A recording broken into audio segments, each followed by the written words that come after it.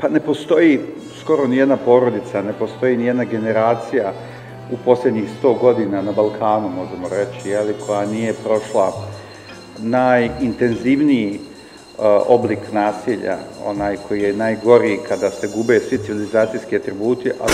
Stalno sam morala se određujem i da kroz svoje ideje i stavove govorim ljudima oko sebe ko sam. Nazovite me ovaj, naivnom, ali i dalje mislim da je nekako moguće iz svega ovoga o čemu je divno govorio, e, da umjetnost podsjeti na ono što joj je svrha i da služi lijepo.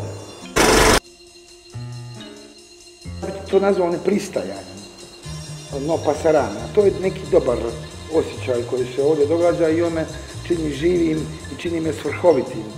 I volim da je tako. Ne pristajem više na ne pristaje na nikakve idiome, tako da nije bitno kako me ko zove, više mi to, i to je, to je, to i divna je divna, i divan je